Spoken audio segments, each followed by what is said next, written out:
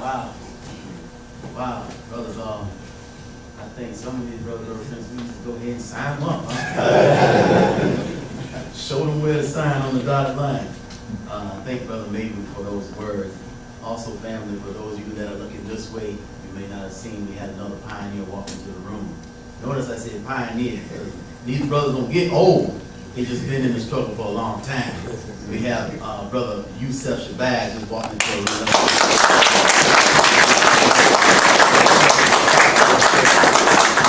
You all right with being a pioneer, is that right, brother? Okay, I call brother Prince a pioneer. He ain't old, look at him. If I told you his age, you wouldn't believe it. Because he's just, you know, he's been dignified. He's been cleansed and clean, and we on the path. It's not something we just talk. We strive every day to walk it, is that right? Yes. That's right. As a result of us walking this walk, we are rewarded. Now, you might not, everybody want to get a little money. You might not be rewarded financially, but God is blessing you with jewelry, huh? Something that you can use, like Brother Maven, that brother, that was some beautiful stuff he was just dropping. Yes, sir. This is why I wanted Brother Maven, Brother Leggett, and Brother Gresham to speak, because we need to know who they are. That's Brother Vaughn. Another very positive brother, I don't even know Brother Vaughn represents an organization or is uh, even uh, a part of one.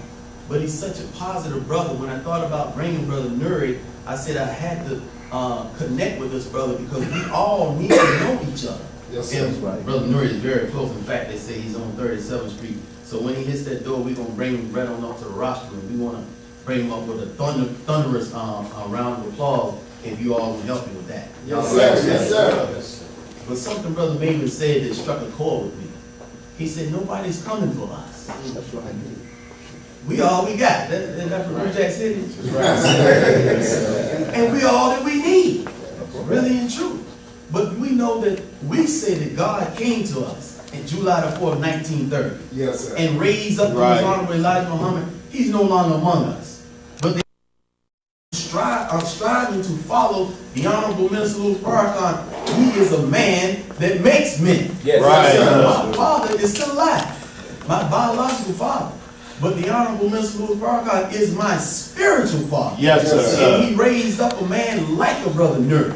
He raised up a man like a brother Nuri that can teach and train young men, and he travels all throughout the country. He's sir. even been across the great pond, teaching this great teaching that he's been um, blessed with through the Honorable Minister Louis Farrakhan. I think he's in the building. Is he ready? Not quite? Oh, praise be, sir. I see Chi-Town in the house. We got a brother from Chicago in the house, and seeing this brother for years.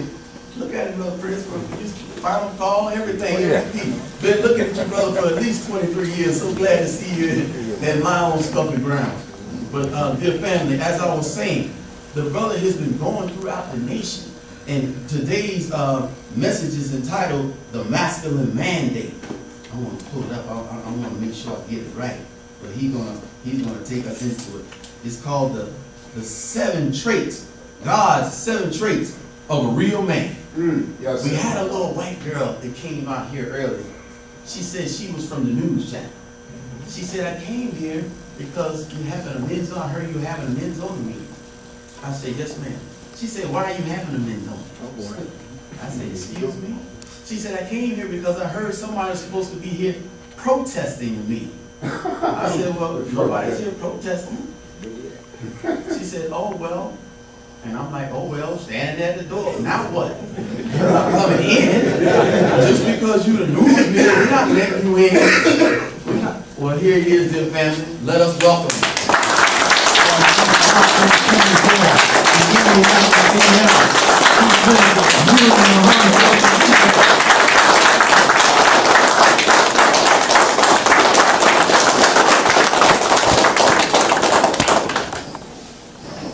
Assalamu alaikum, brothers. Waleik salam, sir. In the name of Allah, the beneficent, the merciful, I bear witness that irregardless to land, language, or label, creed, class, or color, race, religion, or ritual, that there is but one. I don't like standing in the corner. I don't know about y'all, but I got in trouble enough in school. y'all maybe y'all didn't experience that. But I bear witness that irregardless to land, language, or label, creed, class, or color, race, religion, or ritual, no matter what you call his name, there is but one God. That's right. That's Some call him Jehovah, some call him Yahweh, some call him Elohim, some call him Amen or Amen Ra, some call him Baba, some call him God Almighty, some call him Father. In, in the nation in Islam, we call him Allah. That's right. By saying the word Allah, the base word of Allah is in English the word all. So when you say Allah, you're saying all of the names of God. Mm. Right. Jehovah, Yahweh, Elohim, Father, God, Lord, Jesus, whatever name you call it, you're saying all of them wrapped up in one. Yes, sir. So we thank Allah, that one God, for his messengers, his warners, his prophets. We thank him for the minor messengers and prophets that have come. The theologians say that there's been about 24,000 minor messengers that have come up in the world in the last 6,000 years. And we thank him for the major ones that we know their names and their revealed word that came through them. A man like Moses, mm. with a revelation like the Torah. Yes, sir. A man named Jesus with a revelation called the Gospel or the Injil. Yes, sir. A man named Muhammad and a revelation of the Holy Quran. Yes, sir. We thank Almighty God, Allah, for all of these messengers and these prophets and the revealed word that they gave to us to help make us better men and better women on the planet. In this case, better just better men for us in this room right now. That's right. Yes, sir. But I am a student of the Honorable Minister Louis Farrakhan. And as his student, I am eternally grateful to Almighty God Allah for his merciful intervention in our affairs in the person of a man named Master Fard Muhammad. The man that came 9,000 miles all by himself to come and teach the Honorable Elijah Muhammad and black people in Detroit and all over the United States of America. And I thank him for raising up the example of what manhood looks like. Yes, sir. Yes, sir. The most fearless black man that ever trotted the shores of America or any part of the planet. I'm talking about a Georgia-born black, Georgia-born. That's black right. That's right. Yes, sir. Maybe y'all don't know nothing about a Georgia-born black. Maybe that don't mean nothing to y'all. We are we in Savannah, Georgia? Yes, sir. Yes, sir. So you mean to tell me that inside of Georgia was the material that could produce a man that will become the greatest man that we've ever seen on this side of Calvary? Mm. I'm talking about the most honorable Elijah Muhammad, a Georgia-born black man. To Allah.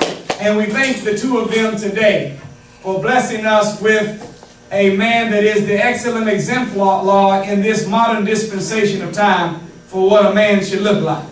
That man that I'm speaking of is the man that taught me everything that I know Yes, sir. and is the example of the man that I hope to one day become. I'm talking about the fearless, divine general, the Honorable Minister Louis Farrakhan. All praise to Allah. And I'm pleased to announce that, inshallah, God willing, in a few weeks, the Honorable Minister Louis Farrakhan will be turning 86 years of age. Yes, sir. He's looking good. You see him at Nipsey Hussle's funeral, he's sounding good. Yes, sir. And I'm pleased to announce that he's in good health yes, and in good spirit, ready to keep his foot in our enemies behind. That's right. Yes, sir. And can't nobody put the foot in the enemies behind like Farrakhan. That's right. That's We right. thank Allah for him. Yes, sir. Yes, sir. I wanted to ask if you all would give a special salute to Brother Jamie and the believers here of the Savannah Study Group for putting this event on. Let's give our brother a round of applause. To all of the brothers that shared words uh, earlier today to get us prepared for the program. Thank you, brothers, for what you said. And hopefully what you gave to us as men will inspire us and motivate us to be better men today than what we were yesterday. Yes, sir. And better men tomorrow than what we were today. Yes, sir. And if we could just keep that gradual increment increase, becoming a little better every day, Yes, sir. in 365 days of a year, that will be 365 minor changes Uh-huh. that would add up to become a major change at the end of every year. Yes, sir. In 10 years, we will be a completely new creature That's right. as men if we can just make that little bit of progress. Thank y'all for listening. I greet you. That's all you need to know. But brothers, it's a very serious situation that we are faced with as black men. Yes, sir. I don't know if you know this or not, mighty men, but in America there are more black males born than there are black females. Mm. But by the time the two reach the age 18, black females outnumber black males 7 to 1. Wow. This means by mathematical computation that the black male is dying at the rate of an endangered species. Yes, sir. Yes, sir. Now you know what happens when white folks see animals dying Right. And going to the point of endanger. They start organizing programs, That's right. campaigns, Yes, Right. telethons. Yes, sir. I don't know if y'all remember, but right around the time when, when Trayvon Martin was murdered by George Zimmerman right down the street in Florida, Right. That's right. black people, we were in an uproar and it came, the hashtag out of that time came Black Lives Matter. Yes, sir. Right. But but right around the time of the murder of Trayvon Martin, Cecil the Lion got killed in South Africa. Right. Hmm. What? That's right. You telling it? Tell it. And white folks, you know, they modified our Black Lives Matter. They try to put something in there called All Lives Matter, Right. which is true. All lives do matter. Yes. But whenever we said Black Lives Matter, just a remedial reading lesson, we did not say only Black Lives Matter. That's right. That's right. But we were saying Black Lives Matter because it's obvious by the way we are handled by the police, Yes, sir. by the way we are treated in the court system, Yes, sir. by the way we are dealt with inside of the system of education, by the way we are handled at the bank when it's time for us to go get a loan. Yes, sir. Come on now. You, you do know you do know that, that racism is, is a system now, not, not, not an individual person like it was. That's right. Right. So don't ever get blinded by the fact that you don't see skinheads with swastikas wrapped around their arm or Klan outfits marching through Georgia. Every now and then they still do it. That's right. But our great brother, whenever he was leaving the Supreme Court Thurgood Marshall, his first lecture he did at Howard University, listen to his words. Here's a man that's been looking at court cases that happen all over America. Listen to his words. He said, I want to let you all know this, brothers and sisters, that the Ku Klux Klan no longer wears white robes. No. They wear blue police uniforms That's right. and black judges' robes. That's, That's right. That's Yeah, what was he saying? He said they've become the Blue Klux Klan. Right. Y'all didn't catch that. we could upgrade it and say that, that not only does the Ku Klux Klan wear black judges' robes or blue police uniforms, but they also wear white doctor smocks. That's right. That's right. Is that right? Yes, sir. They wear three-piece suits and they sit in the position of bank managers. Yes, that's right. Yes, they do. So when we said Black Lives Matter, that was based on the fact that, that there's been two to three thousand black males killed by police officers or correctional officers in the last three years. That's right. And only four police are in jail for killing two to three thousand black people. That's right. We said Black Lives Matter because when you go to the bank, that same bank, black man, That's right. that'll give you a $250,000 loan for a plastic house. Right. Exactly. You know I'm telling the truth. Yes, sir. that'll give you a $150,000 loan to give your child an education that will not work. Mm. That'll give you an $85,000 loan for an Escalade. Right. Uh, you go to that same bank that gave you that loan for their Escalade, for their college education, or for their plastic house, and ask them for a small business loan. Right. Mm-hmm. And the same bank, you say, I just need 10000 they'll tell you no. Right. Why? Because they know that a degree does not threaten white supremacy. No. Mm. Driving a fine automobile doesn't threaten white supremacy. No. Right. And living in a big house with a four bedroom a home and a, and a four car garage doesn't threaten white supremacy. No. The- but the minute Yeah. that black men say that I recognize that business is the activity of life. right. And we will never be a free and independent people because as long as I'm trying to pass on a job to my son. Yeah. Mm. You teach But when it. we get involved in business, That's right. Go ahead. Yes, sir. business is warfare. That's right. Not black talk. And it lands a blow against our enemy whenever you begin to engage in economic enterprise. That's right. Sir. Is this the truth? Yes, sir. All the way. So, when Cecil the lion was killed, Yeah. they went from all lives matter to all lions matter. That's right. And I start looking down the timeline of all of these people that were posting hashtag Cecil the lion. Yeah. And as you went into their profile, I noticed that they had love for the koala bear, Yeah. love for the blue whale, That's right. Love for the bald eagle, Uh-huh. Right. love for the white tiger That's going right. extinct, but no love for the black man that's going extinct. That's right. So if we are dying at the rate of an endangered species, we researched it and found that whether it's the koala bear, the bald eagle, the blue whale, the white tiger, there has never been any creature in existence that's become endangered unless that species is in fact being hunted. That's right. Mm. Right.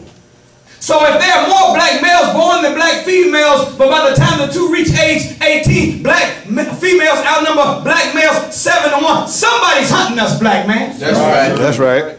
And I'm sad to announce that the real death that comes to us as black men is not coming from the blue police to the inside. Mm-hmm. It's not coming from the white man to us. It's coming from us to one another. That's right. Yes, sir. And I want to say to the men today, as you see the great soldier, the great prince, the great young general, Nipsey Hussle just leave us. Yes, sir. We have to stop killing one another. That's right. That's right. Because when you kill a young black man, you are involved in the assassination of the future of black people. Yes, sir. Yes, sir. The Honorable Elijah Muhammad said this. He said that knowledge of self produces love for self. That's right. Sir. And if you love yourself, you will do for yourself. That's Yes, right. sir. That's right. He said you can stop all black on black murder, black on black crime, just off of giving black men a thorough knowledge of self. That's right. That's right. right. Because once you know yourself, you begin to love yourself. That's right. Am I telling the truth? Yes, sir. Have you noticed that, that, that, that white and black children, when they go to school, they start school the same way? Go ahead. Yes, sir.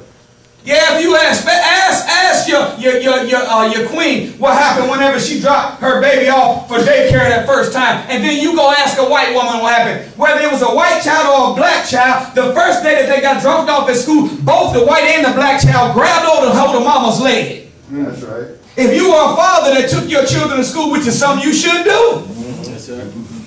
you remember that first day of school, they grabbed your leg, they didn't want to go, they cried. Right. And when you peeled them off your leg, or your queen peeled them off her leg, and your son began to walk, you looked over and you seen the little white boy white girl walking the same as your son. That's right. Both the white and the black child walking real timid. That's I remember right. this. Yeah, remember it. Moving real slow with their head down. That's right. crying and sniffling. Yes. But notice that as that black and that white child began to trick, uh, matriculate through 12 years of the public food system, I mean, school system, Yeah, go ahead. Uh-oh. notice that, that, that as they began moving through the school, they're both being fed the same curriculum. That's Yes, right. sir. Yes, sir. And the curriculum inside of the public school system has always been about white greatness. That's right. So our babies and their babies learned about George Washington, a white man. Right. Thomas Edison, a white man. That's right. Abraham Lincoln, a white man. Yes, sir. Einstein, a white man. Yes, sir. Newton, a white man. Yes, sir. Columbus, a white man. That's right. Plato, Socrates, Pythagoras, Thales, all white men. That's right. And you notice that as they both began to move through the school system, that, that the white child began to stand upright. Yeah, right. And by the time they graduated with their diploma, they no longer had their head down, moving slow. They were moving fast with their chest out, head held high, ready to conquer the known world. That's right. But our babies never learned about somebody that looked like them. Right. So whenever they left the school, not only was their head down, but now their pants was down too. That's black babies were to learn about people that look like them that accomplished great feats in the past, sir. Yes, sir. Yes, sir. then they too will leave inside of that curriculum with that same power to conquer the known world. That's right. Don't you keep on protesting and begging the school board No, to change the curriculum. that's right. Every city we've been going in, Brother Wayne, they, and this is our brother Wayne that has the Ashford Tea Company. Yes, sir. Yes, sir. Right down at 406 E- East Oglethorpe. Go and get you some good tea from your brother. That's right. Yes, sir. The philosophy of black men from this day forward in Savannah should be that if business is warfare, That's right. and if I open up a business, I have struck a blow against white supremacy. That's Yes, right. sir. Yes, sir. Don't you want to see some blows struck against white supremacy? Yes, sir. Don't you want to see white supremacy destroyed once and for all? Right. But if you got a brother that opens up a store and he struck a blow for white supremacy, wouldn't it make sense that we should bring our dollars down there to give him some more ammunition? That's right. So go get you some tea from our brother. Sure. But every city we've been going in, whether it's been Savannah, they, they, in all of the inner city schools, we're noticing 10, 20, 50, 60 million dollar renovations of the buildings mm-hmm. that our school, our, our babies go to. Yes, sir. right. And they do need renovation. Yes, sir. But I'm saying to us as men, don't let them make an acute building mm. Be good enough for your children. Because at the end of the day, the Titanic was much more attractive than the Ark of Noah. Right, right. Question is, which one would you have rather been on? That's right. So if they got a high class system, a beautiful environment that makes white supremacy more believable, then hell, I don't want to see no $60 million renovation of buildings of schools in the cities. I want to see a $60 million renovation of the curriculum that our babies have to listen to. That's right. Praise be to Allah. So as men, you got two to three thousand black males killed by police officers or correction officers. That's bad. But in the same three-year cycle, on average, twenty-five thousand black males are killed by other black males. Mm-hmm.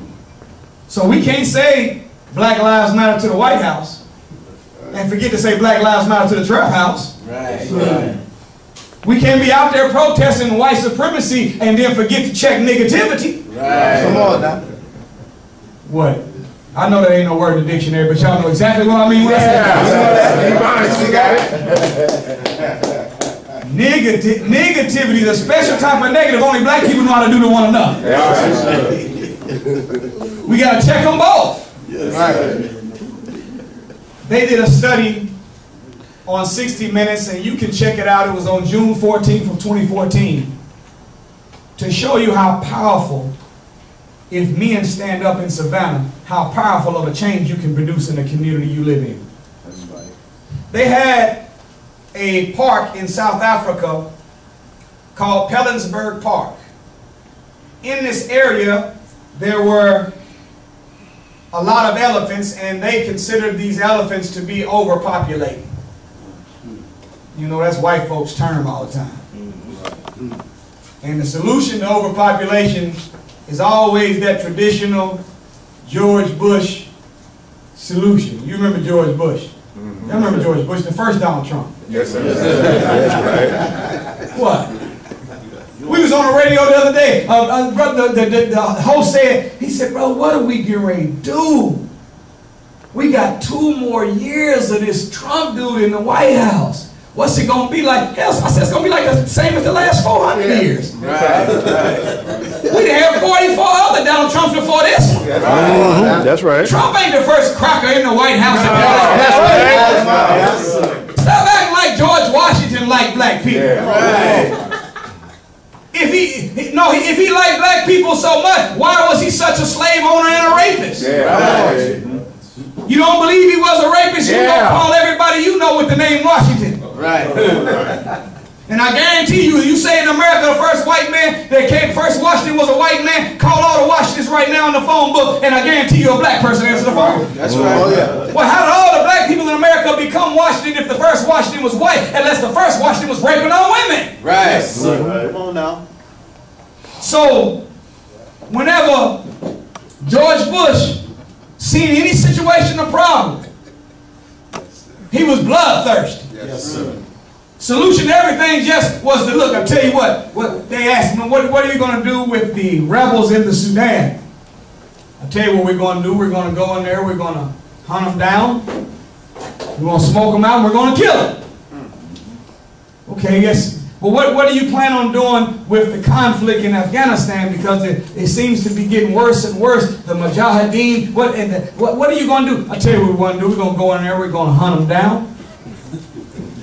We're going to smoke them out. We're going to kill them.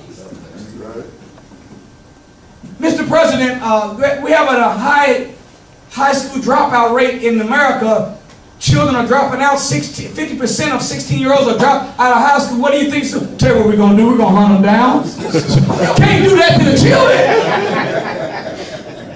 But the solution to, to all white people in power has always been to kill. That's it. That's right. The white man is the only group of people on the earth whose history is not written in ink but written in blood. That's right.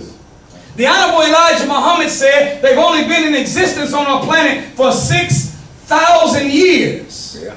And in that short little window of time of 6,000 years, they've killed 600 million original people all of the time they've been on the planet. Yeah, right. Every thousand years of existence, they've killed 100 million black people. Yes, sir. That's right. Their history is written in blood. That's right. You do, you do know, black man, that you're the first man on the planet. Yes, sir. You do know that you are the original man. Yes, Yes, sir. sir. You are the Asiatic black man, not the African black man. Right, right. Not the American black man. Yes, sir. And definitely not the African American black man. Where in the hell is that on the map? In the middle of nowhere? Teach on that. And you better not call yourself no Afro American. What, what people name themselves after a hairstyle?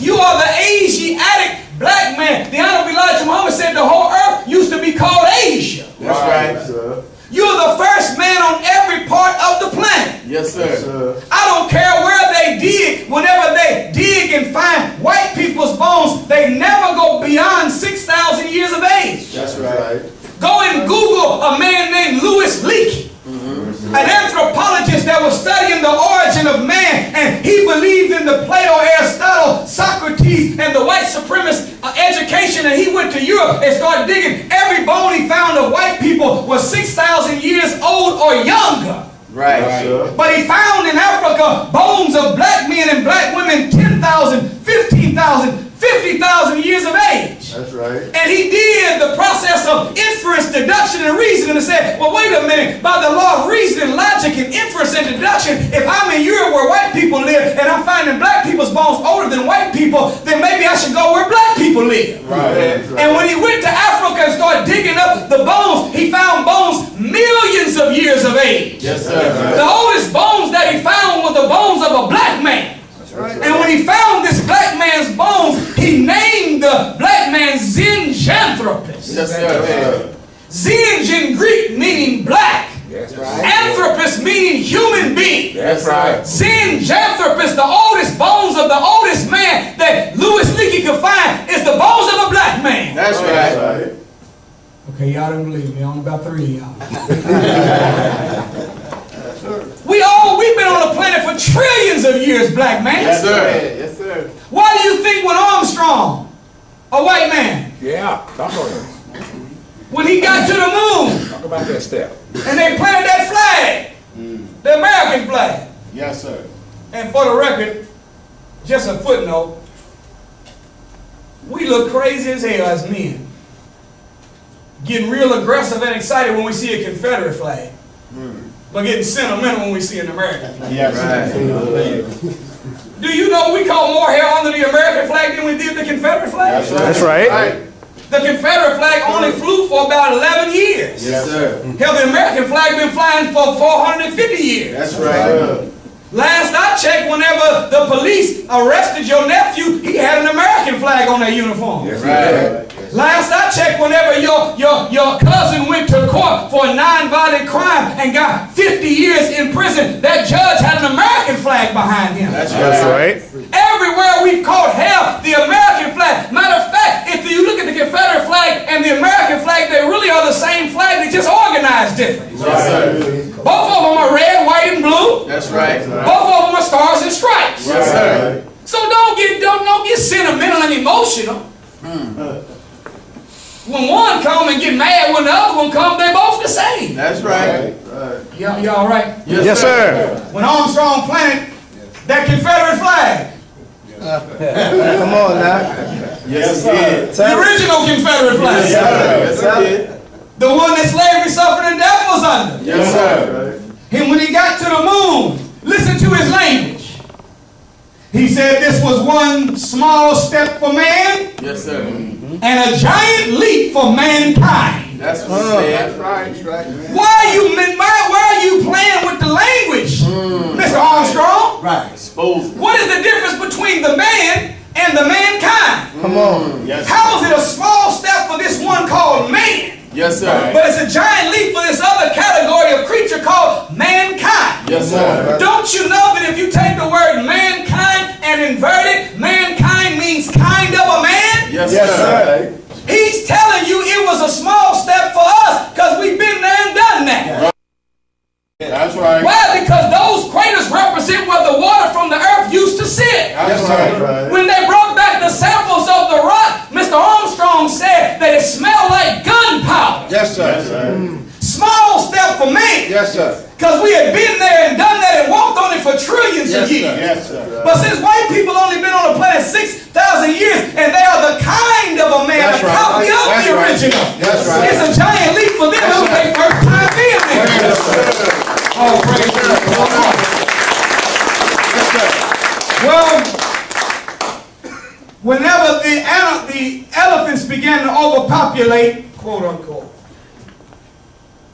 they came in there with a George Bush solution inside of Pilanesberg Park. And they came and dropped bombs.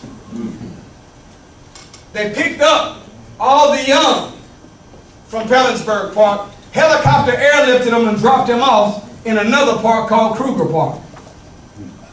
Destroyed all of the adult males that they could kill in Pilanesberg Park. Then a few months later they came to Kruger Park where all of the young were living there without their parents. The story is called on 60 Minutes from June 14, 2014. The story is called The Rogue Elephants. Yes.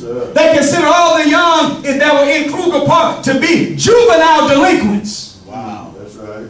In Kruger Park, the young that were there without their mother, without their father, all of a sudden they began fighting and killing one another. That's right. Elephants have a history of being very peaceful Right. with other animals, including them and of course themselves. That's right.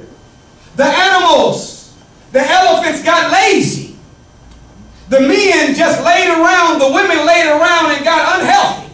That's They stopped taking care of the young, nursing their young. Next thing you know, they looked up and found that the rhinos were being murdered. They thought that they were poachers coming in. Coming to find out, after video on it was the elephants attacking all the rhinos. That's right. They began to stop down key aspects and ingredients of the ecosystem of Kruger Park. Next thing you know, the whole environment was messed up. It went from, from being a peaceful place, kind of like a paradise, it went from paradise to the projects. That's right. It went from, oh, excuse me, I'm talking, ne- never mind. And when they seen that the whole ecosystem of Kruger Park was messed up like it was in Pilanesberg Park, they came in and said, we got to do something about it. What you think they said? Kill him. Kill them all. That's it. One scientist raised his hand and said, well, well, hold on a minute. Before we do that, I have a proposal. Just can we just try something? And what, what he proposed, they did. They went back to Pilanesberg Park to see if they could find any remaining adults. And they found nine adult male elephants still alive. They helicopter airlifted them from Pilanesberg Park and dropped them off in Kruger Park with the young. The rogue elephants, the juvenile delinquents. Right. And within two weeks, the elephants stopped killing one another. Yes, sir. Within two weeks, the women got up and were moving around with joy, taking care of their young again. Within two weeks, all of the ecosystem of, of Kruger Park became back in the harmony. Back. I'm saying that to say, what would happen if the black man stands back up Yes, That's right. in our community? Yes, sir. Now, we don't need to be helicopter airlifted. We already here. That's That's right. right. But for every physical law there is in the universe, there is in nature its spiritual counterpart. So teaches the Honorable Minister Louis Farrakhan. That means anything you see physically, you, there's a way that you can study it and figure out how to take those principles and convert them over to the spiritual. Mm-hmm. We were talking to my brother right here yesterday. This is Brother Sadiq. He's a great basketball player who played professional basketball overseas in Argentina. Yes, sir. He likes it. He loves the sport. He trained hard for it. But he said after he was been over there for a few years, he said, I want to come home and work on building the nation. That's right. sir, Lord. Did y'all hear that? I don't know about you, but any time that I can meet a young black man, That's right. do you know that, that the primary target of our enemy is to capture the minds of our young black men That's That's right. right. and destroy in their brain hopes, dreams, and aspirations? Yes, sir. The number one objective of our enemy is to snatch the dreams from the new generation, Yes, sir. to kill the spirit of the new generation. Yes, sir. to make them operate in a sense of hopelessness and despair where they cannot run their leg of the relay. Mm. That's right. But whenever I heard of a young brother that, that's just uh, in his early 20s saying, and I will forsake money in my pocket for sport and play to come and do something to help build a nation for my people, I think that deserves to be respected and saluted. That's What do y'all think, black man?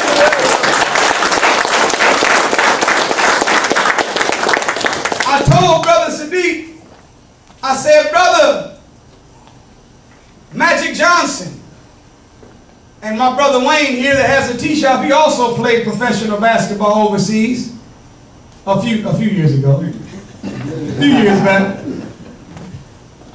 But I told Brother Sadiq, I don't know about y'all, I like Magic Johnson. Oh, yeah. Y'all like it? Yes, sir. He got a little bit more testosterone. Spiritual testosterone than most of the brothers that's up in, that got some wealth. Yes, sir. Okay. You seen how he just quit the other day, didn't you? Oh, yeah. He said, look, man, y'all know, what did, did y'all hear it like I heard it? I heard the, the, the other side of, look, these crackers in here is giving me hell. Sick of these sneaky ass little white boys always trying to be slick. Right. Every time I do something, they act like they agree in my face, and then they go and do something different. I'm done. I don't need this little punk, little money from this little Laker team anyway. I'm more valuable to the Lakers than the Lakers are to me. To hell with them. Right. I may be out of here the story like that. That's that was my remix on it. Yes, sir.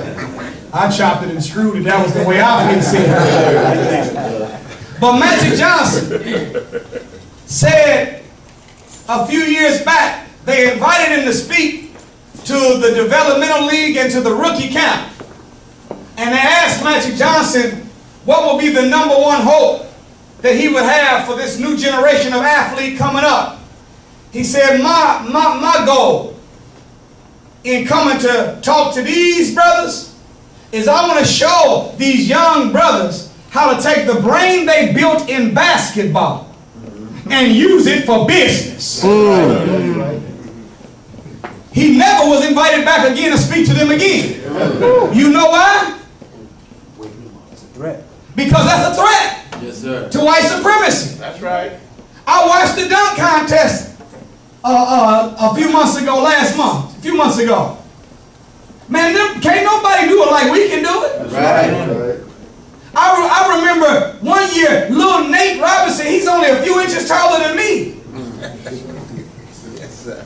Yes, sir. Dwight Howard's, I mean, that brother's tall. Yes, sir. Yes, sir. I think he's 6'12.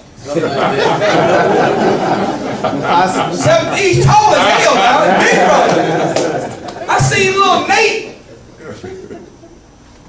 come down and, and this was the last dunk of the dunk contest. Anybody that's ever played sports, you know the more you jump, the more fatigue your legs get. The last dunk of the dunk contest, Nate then jumped over top of Dwight Howard's head with flair and dunked. I seen my brother uh, that plays in Houston. Can't remember his name. But he jumped and he put a cupcake on the rim. He jumped up and blew the cupcake candle out. and then dunked on the way down. Man. You remember Blake jumped over a whole car. Yes, sir. Yes, sir. Sir. But at the end of all that, black people's conditions, uh, conditioning change not one hour. That's right. Okay. So no matter how many points we score, no matter how much dunks we do, no matter how much entertainment we offer, it does not impact white supremacy. That's right. But if these young athletes were willing to take the brain they built in basketball and use it for business, now we got something, black man. Yes, sir. So I'm asking for you as a father, train your children the way white people train their children. White people don't put their children in sports the same way black people put their children in sports. Tell it. When we put our children in sports, we put them into sports to become a professional addict. Right. Okay. But when white people put their children in sports, they put their children in sports to extract the principles from it. Right. Okay. So that the minute that they don't make it, white children, to the NBA or to the NFL, Right. they know how to follow the law of transmutation. Mm-hmm. And they apply the principles of teamwork, Right. discipline, That's right. sacrifice, Yes, working through pain, working through fatigue, the ability to categorize problems in their personal life and still do the mission at hand. Right. And they use it for their law firm or for their doctor's office or for their insurance company. Yes, sir. But because we train our babies that, that, that you gonna make it to the NBA, you gonna make it to the NFL, and you gonna buy mama that car, you gonna buy mama that house, and the minute that they don't make it to the league, now their hopes are crushed, their dreams are assassinated. Yes, Come on, But if we put our children in the sports and told them, look, if you can go into the league, that's cool. But know this, son, there's 500,000 black boys playing high school basketball right now. Mm. Out of that half a million black boys playing high school basketball, only 35,000 of them are going to play in college. Out of the 35,000 that play in college, only 7,000 of them will get a full ride scholarship. Out of the 7,000 that get a full ride scholarship, only 35 of them will make it to the NBA. Wow. Out of the 35 that make it to the NBA, only seven of them will get a starting job. Wow. And the seven that get a starting job's career will be an average of seven years. Mm. That's right. So don't be no sucker. That's right. And be no be one of the 500 million people competing for seven full-time jobs. That's Come right. man. Get in there and if you can get the free scholarship, the free education, take it. That's right. Yes, sir. Get in there and if you can make it to the NBA and get you some chips, stack it. Yes, sir. But at the end of the day, if you don't get the scholarship and you don't make it to the league, so what? Extract the principles from it. And take that brain you built in basketball, son, and use it for business. That's right. And let's take over our community and make it something special. And y'all can have it. Come on, put those people right now. Y'all see I ain't looked at my notes yet, but Allah's the best now. That's right. Oh, yeah. My assignment today, and I'm going to wrap it up. My assignment today is the masculine mandate. Come on now. The seven traits of a real man from God. Y'all all right with that? Yes, sir. You know what a mandate is, right? Yes. It's a command. It's an order.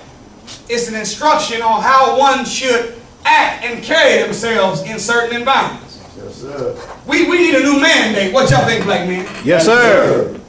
Well, there was a sister once that I was watching a question and answer exchange between the public and the Honorable Minister Louis Farrakhan, and a sister asked a question via Twitter to the minister. Listen to her question. She said, How will I know a real man when I find one? Mm-hmm. Wow. I said, Oh, man. It's a hell of a question. Yes, it is. You know what that means? Whoever she was, she haven't met a real man yet. That's right. That's right. That's right. Because if you'd met one, you wouldn't have asked ask the That's question. right. That's correct. So I was assuming that this is probably a young girl who's on her way to mate selection and wants to make sure that whoever she gives her hand in marriage to is going to be the kind of man that's going to bring out the best in her.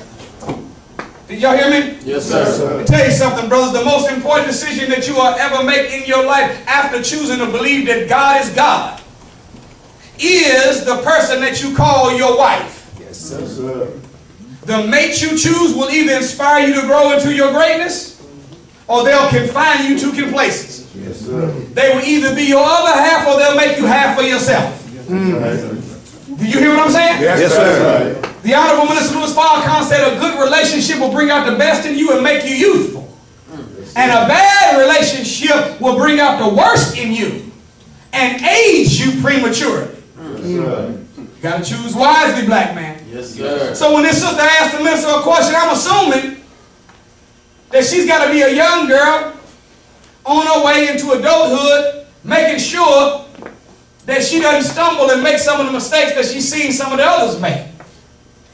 Lo and behold, I went to Los Angeles, California, and after I did the lecture, I broke this down on Father's Day, and the sister came up to me and said to me, she said, You know, I'm the one that asked the minister that question. Okay. I was happy to meet her, but I was sad that she was over 50 years old. I didn't say nothing to her, but I walked away and I thought, I said, So you mean to tell me for 50 years you've been on this planet? Mm. A half of a century. Right. That's right. And you still asking the question, how will you know a real man when you meet one? Yeah.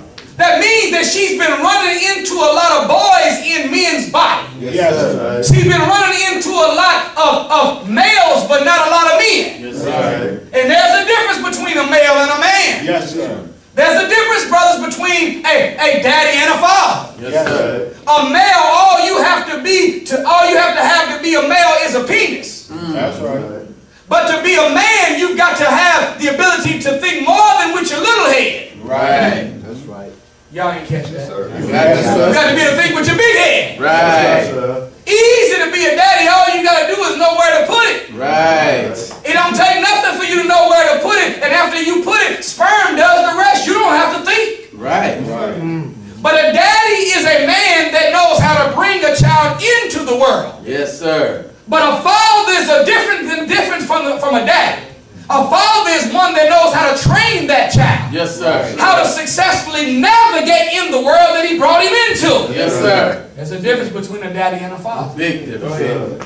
That's right. Whenever the minister answered her question, I thought it was going to be a real long answer. You know, you know that's how we think wisdom is. We think wisdom is when you take something simple and then you put a whole lot of word gymnastics with you and you know get involved in all kind of spiritual pontification. Yes, sir. Hither thou goeth and whither thou cometh and thus saith Yes, the sir. intergalactic cosmic order of the chakra of the 12th dimension has right. come in harmony and alignment with the atmospheric hormone. You, Yeah. you, you, you do what the hell you're supposed to be doing that's right. Right. Simple as that. Do what you should do when you should do it, whether you feel like doing it or not, you're going to be all right. Yes, sir. Make it simple. So the Honorable Elijah Muhammad once was asked a question. Brother wrote him a long question about his addiction to cigarettes. What? No, no, black people still smoke squares. Yes, sir. Yes, sir. It might be something in this room, but I guarantee you, I got something that you, all, you don't need no science. I just got one thing that you can think about every time you bring light that cigarette that'll alter a black man from ever smoking a square again. Y'all ready? What's that, man? You got your seatbelt on? Yes, sir. Do you know that when babies are born, white men and white women have always celebrated white babies being born by smoking a cigar? Yes, sir. That's right. The cigar is the emblem of the black male sex organ. That's right. So they smoke a cigar because they wouldn't have been able to produce a child if we didn't produce them. Mm. So it's a way of paying homage to us without us knowing that they're doing it. So if the cigar is the black man, y'all see where I'm going with this? Yeah, we see. And what is this little big skinny little white cigarette? Huh? Change the game up, don't it? That cool ain't as cool as it used to be. That Salem menthol ain't as quite as menthol as it used to be. And every time you light that cigarette, not only is it fire on one end and the food on the other, but it's something about knowing that I'm putting a white man's Johnson in my mouth. Wow. Make it easy for me to say no to smoking. Yeah, yeah, yeah. Real. What y'all think? Yes, sir.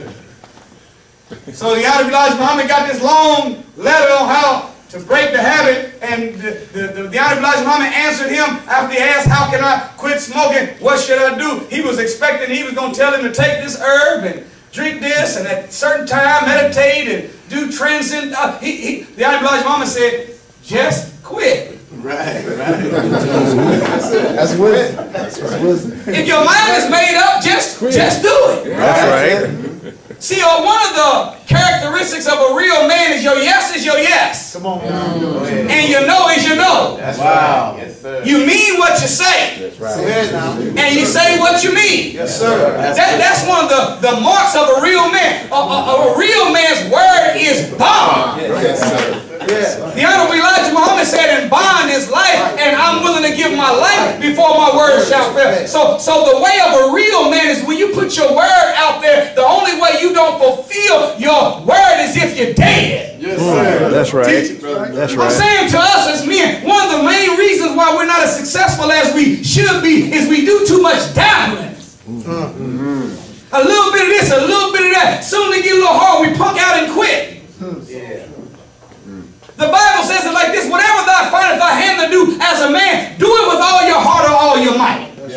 In other words, don't play with it. That's right. If you got your mind made up and you say you're going to be, do, or have something, throw your whole self at it. That's right. Uh-huh. Yes, sir. I got a I, my, my, my way of doing things. I don't I don't make to do lists. Mm. I make a battle plan. I hear you, brother. And when I write down what I have to do for the day, I don't call it a checklist or a to-do list. I call it a battle plan. Come on, brother. Nerd. Teach us. It's something about the way it does your mind when you think battle plan versus to-do. Yes, sir. To-do is real negotiable. Right. To do is if I can do it, if I can get around. But battle plan, see, when you in warfare, it's life or death. Right. And it's something about in your mind saying, "This is my battle plan. Today is my mission. I'm on a, I'm on a, I got a, I got a goal in front. I gotta make it happen or I'm gonna die." Yes, sir. sir See, a real man, you gotta have your mindset made up that I don't write my goals down in ink. I write my goals down in blood. Yes, sir. And when you write your goals in blood and make a battle plan, not a to-do list. Anything you say you're gonna do, you're gonna make it happen. Yes, sir. Yes, sir. Y'all all right? Yes, Yes, sir. sir. So, my brother needs somebody. Yes, sir. You all right? If we don't, if y'all don't, if you don't need nobody, don't move around. So y'all distracted me. Now, what was I talking about? We need five thousand dollars right now if we can just get two people to give five. That's not what we're talking about? Good request though, wasn't it? But, brothers, black men, Your battle plan. goals, battle plan, not to-do list. Yes, Write your goals in blood, not in ink. Yes, sir. Mm-hmm. Throw your whole self at what it is that you're going to do. Don't dabble. And watch you make it happen. Yes, That's right. So, when the answer came from the Honorable Elijah Muhammad, quit smoking, just quit. The answer from the Honorable Minister Louis Farrakhan, what is a real man? How will I know one when I meet him? Guess what he said? He said, sister, just study the Lord's Prayer. That is a description of an ideal man. You didn't hear that. How many of us, matter of fact, I only got to ask, all, I guarantee you, all of us have said the Lord's Prayer at one time or another. Yes, sir. sir. However, look at what the minister is saying. He's saying the Lord's Prayer is not something that we recite as a request to throw in outer space and wait for a ghost God to do something for us. The Lord's Prayer has in it, well, the seven traits of an ideal man to give us a masculine mandate. Go ahead. Yes, sir. Yes, sir. How does the Lord's Prayer start? Our Father who art in Yeah. Because some of y'all went to Sunday school.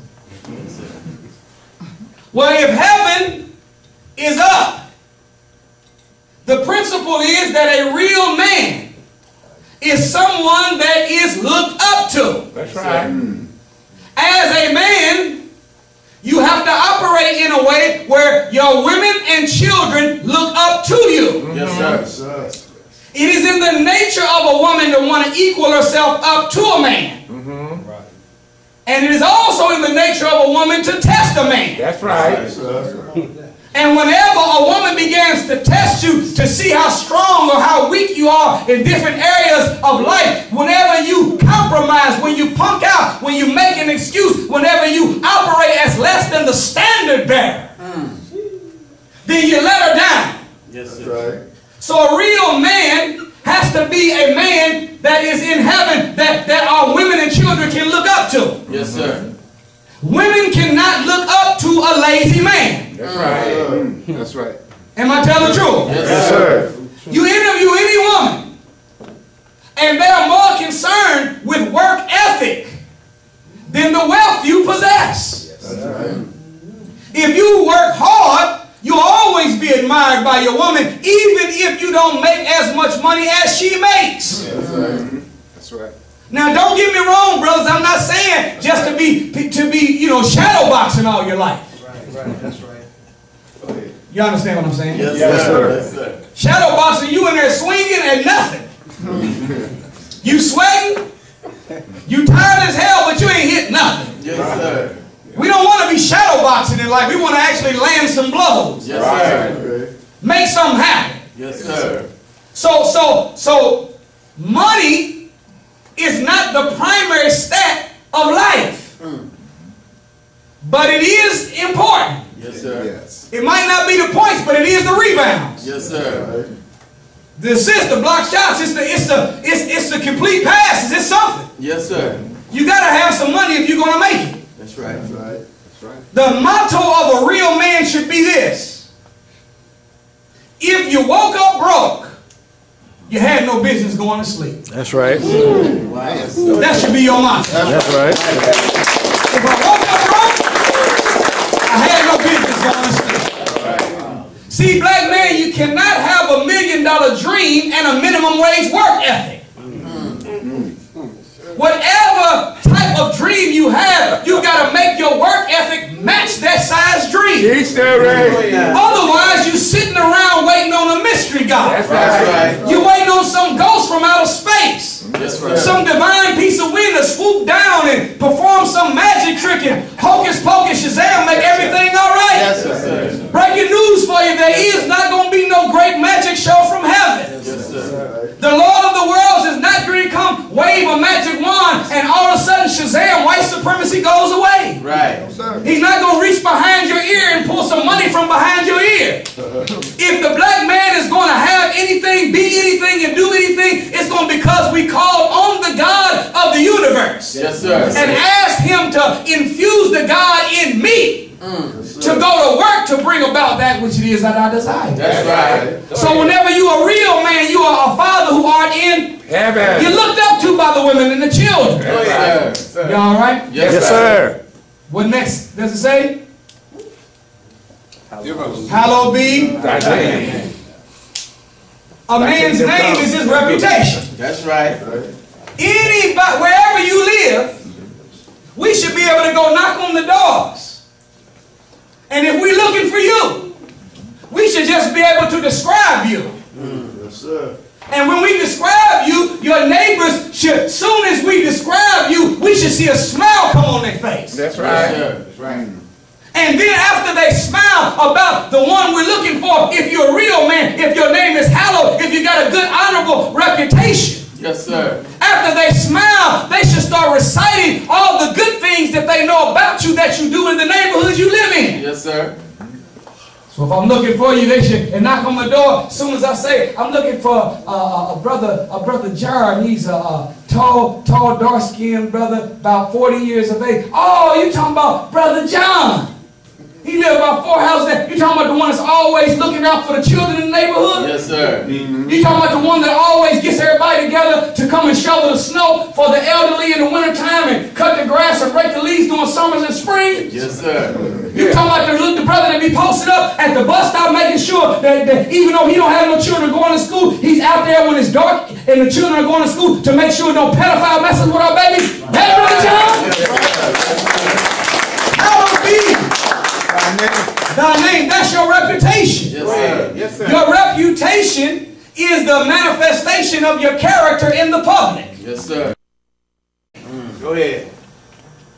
And if you got a gift, and, if, and inside the container there's a crack, then over time the, the gift is leaking out. Yes, sir. It's only a matter of time before the gift is gone. That's right. So if character is the container, the, the container has to be solid. Yes, sir. Our character as men must be solid. Yes, sir. We have to be men of integrity. Yes, sir. You know what integrity, the reason, reason, integrity and honesty are two different concepts. Honesty is telling the truth. But integrity is living the truth. That's Come on. right. Come on.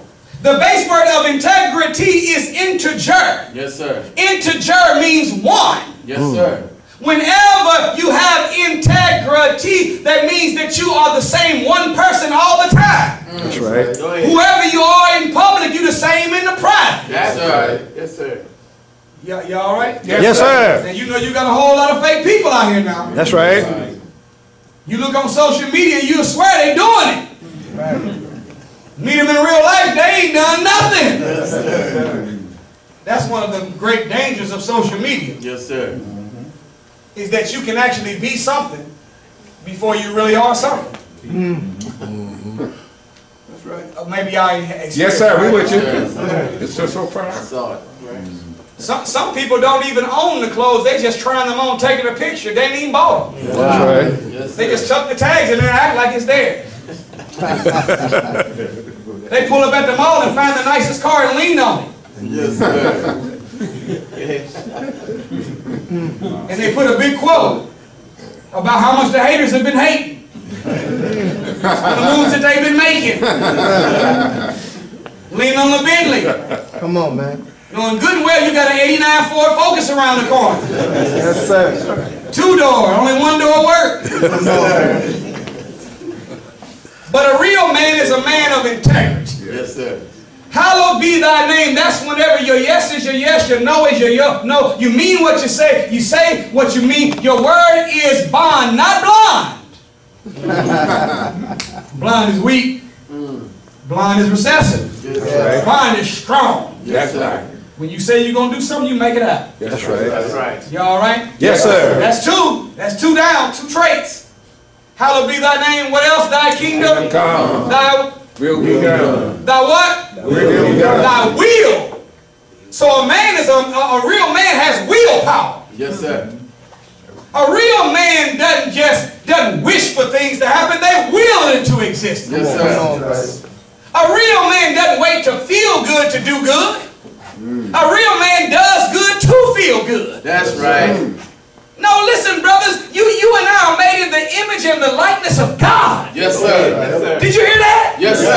That means that everything that's true about God is true about you. Go ahead. If you're in the image and likeness of God, that means when God looks at you, he sees himself. Yes, Right. Our problem is when we look at ourselves, we don't see God.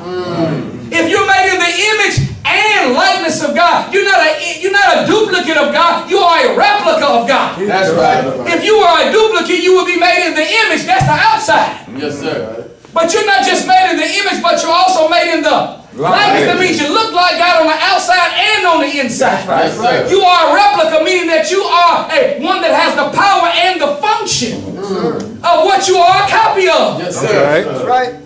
Anything God can do, you can do. That's right. Brother, teach. Psalms 82 verse 6 says, Ye are all gods, That's right.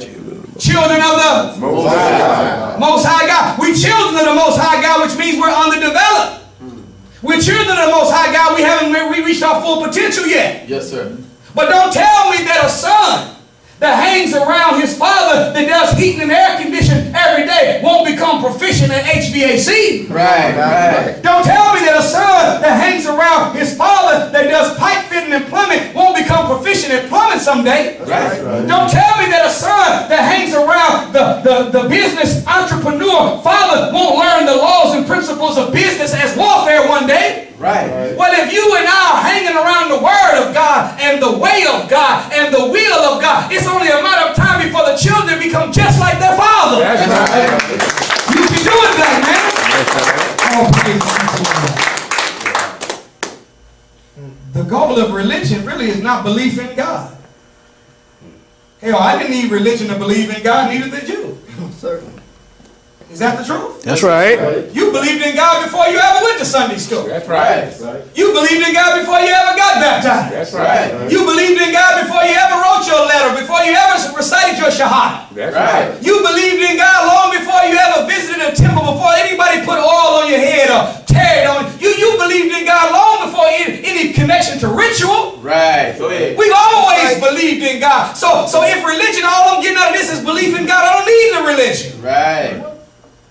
Religion's goal is not to believe in God. The goal of religion is to become the God you say you believe in. Hmm. Otherwise, the religion is a fraud. The religion is fake. That's right. The religion is false flag. Yeah. Religion, religion in Greek means to get to God. Prefix re. Religion is to, supposed to get you back into being God. Yes, sir. Don't you want to be that again, black? Yes, Yes, sir. Yes, sir. So, thy kingdom come, thy what? Will be done. See, a real man doesn't sit around waiting on the spirit to move them. A real man gets up and moves the spirit. Yes, sir. sir. When you got willpower. What is will? Will is the power that the mind has over its own affairs. Hmm. It is the ability to put something out there that you want to do and to gird up every fiber of your being to achieve that objective. A man has to be a man of great will. Yes, sir. Y'all right? Yes, sir. sir. And, and when you have strong willpower, you don't do a lot of rapping. Hmm. Anybody work out at the gym? Hmm. Do, do, do y'all have at the gym in Savannah people that do more socializing than exercising? Yes, sir. It happens here too. Yes, sir. And I mean, you know, I, I'm on a schedule. I'm coming, I gotta get stuff done, and y'all taking up the machine. Yes, sir. So you over there socializing, everybody looking in the mirror, checking out themselves, trying to see who's pretty, who came in, and who got what. And then they out there talking and just constantly rapping. And, and we got a saying that we, we say to the bro, hey, hey, bro, less rapping, more rapping. See, a real man don't do a lot of talking. A real man do a lot of working That's Yes, right. That's right. That's right. with his will. Give us this day our Daily bread. Uh-oh. Now, now tell me if it's the same in Savannah. But where I'm where I come from, there's a whole lot of different synonyms for money. Yeah. Scratch, skrill, bank, cheddar, loop, chips, cheese, guac. Did- what you say? Is bread one them here too? So if bread is synonymous with money, give us this day our daily bread. Well, wait a minute. The white man's job don't give you daily bread; it give you weekly or bi-weekly bread. Yes. The only way a man can get some daily bread is if he's in business for himself. Right. So if we're afraid of a real man, then we've got to be in business for ourselves. Find something you like doing, brothers, and start doing it part-time. Until what you're doing that you love or like part-time is earning you enough money that it can replace what you don't really want to do for your enemy full-time. That's right. And the minute that you've made it to that level where what you do that you love part-time is strong enough to replace what you don't want to do for your enemy full-time, cut that white man off All right. That's right. and go out there and get your daily bread That's right. instead of the weekly and bi-weekly bread. And, and Social Security getting some of your money. And FICA and county and all. Who the hell, uh, who are these people anyway? You mean tell me you ain't gonna ask me do I got enough money for diapers this, this week and you gonna take my money off the top? Come on. Give us this day our day. A real man does for self. That's right. Y'all right? Yes, sir. Yourself. Next it says, give us this day our daily bread and Forgive us our trespass. forgive us our Trespass. trespass. Some translations say sins. Yeah. Some translations say transgressions. Yes, sir. Forgive us what we've done wrong. Yes, sir. As we. Oh, wait a minute. See, a real man can't be petty then. If we didn't ask the God to forgive us the way we forgive other people, then a real man don't have no grudges. Right. That's right. A real man don't walk around with resentment. Right. Mm. Resentment is letting somebody use your mind rent free. Mm. They occupying space in your own head. You live in an emotional prison whenever you are mad at somebody for something. That's right. Did you hear me? Yes, sir. Forgiveness. Mm. For means in advance. Yes, sir. To forgive means to give in advance of atonement.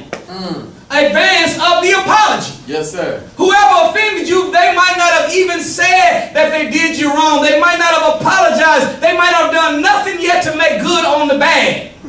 But at the end of the day, you are letting it go, not for the sake of them, but you're letting it go so that your mind is free. For all of your creative juices to flow. That you can be what you need to be and do what you need to do. Mm, that's right. So I ain't tripping on you no more. That's sir. Real men are not petty. That's right. Next, number, I think it's six. Yes. And lead us not. Temptation. Do you know how many of you are fathers? Raise your hand. Tell me if I'm telling the truth. As a father, you don't want your children to be like you. No. You want your children to be better than you. That's Am I telling the truth, brothers? That's right. That's right. Do you do you know why that, that the name of the man that that planted the sperm that produced the child? Do you know why we're called father? It's because the word father comes from the same word as farther. Yes, right.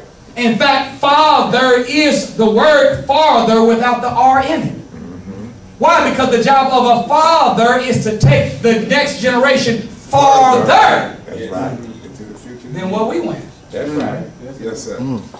So lead us not into temptation. A real man, a real father recognizes that children don't do what you say, but children do what you do. Right. That's right. So at the end of the day, you cannot make fatherhood 90% explanation mm. and only 10% example. Right.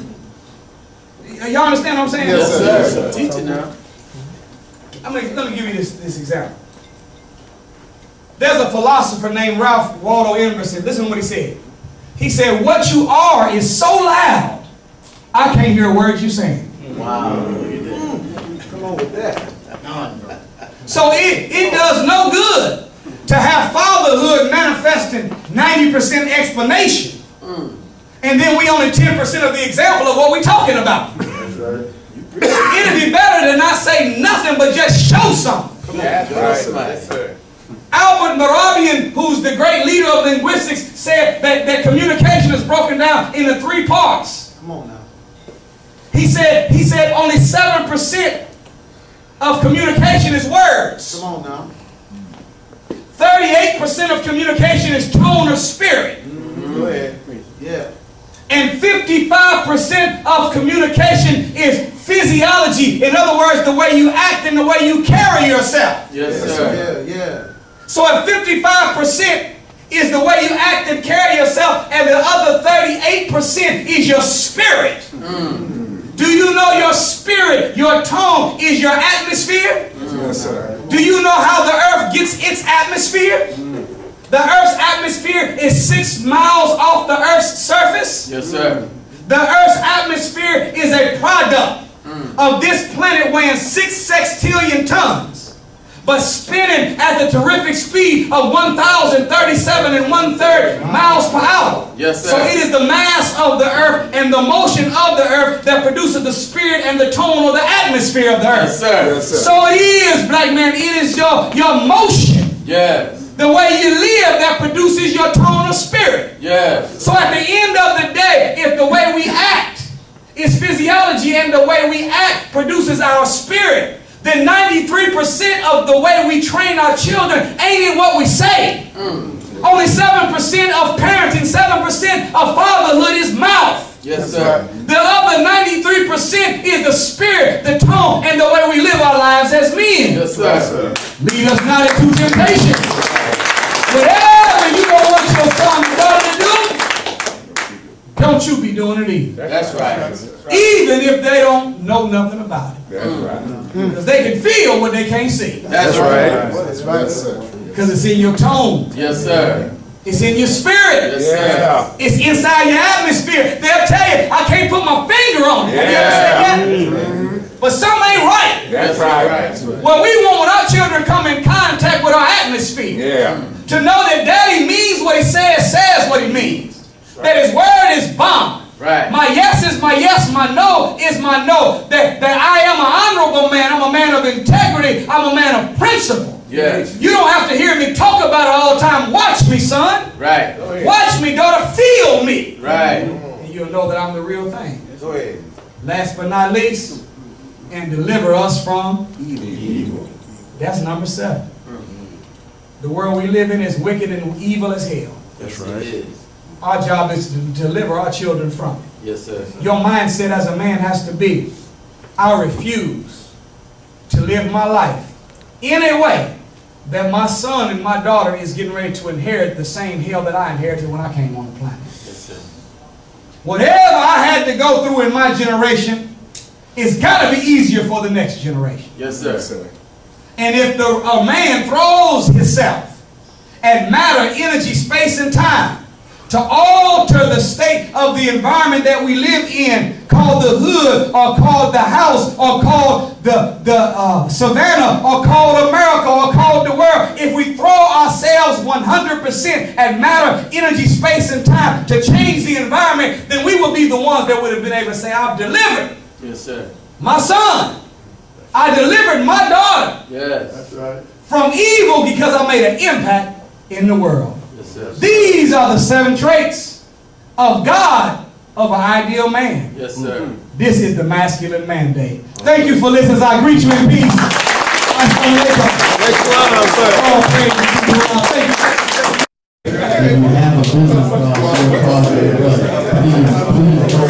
Uh,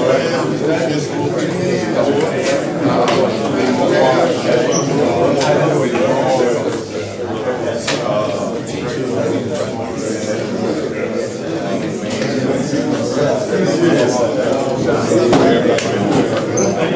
listen, listen, listen. Always good things, family, and things like that.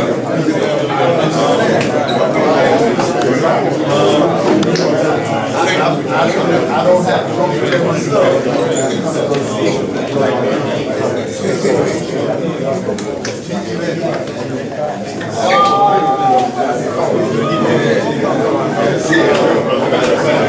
Oh.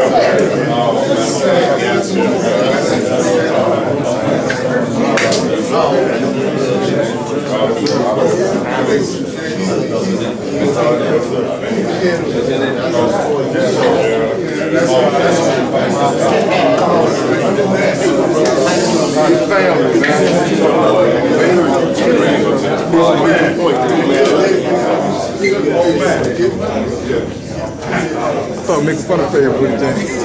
They're going live. Yes, sir. I give it to you. Great. Definitely. Appreciate you. I had one call, that's all. Yes, sir. Jamie has supported me at one time, these brothers are great. Remember you?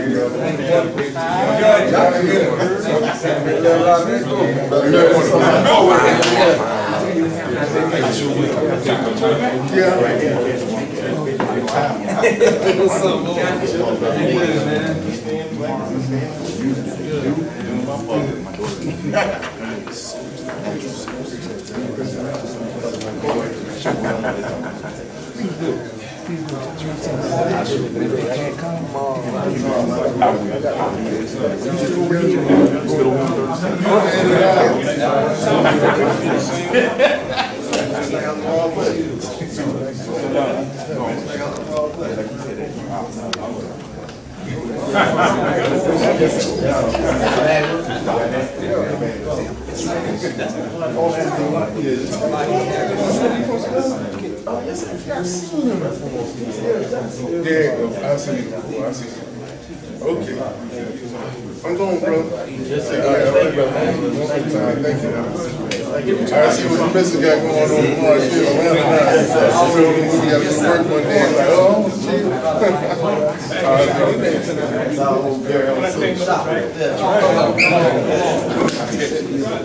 Oh,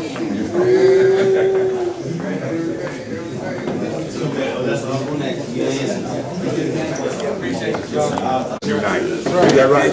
We're just respecting each other way for the most. But maybe one. But many. All right, good.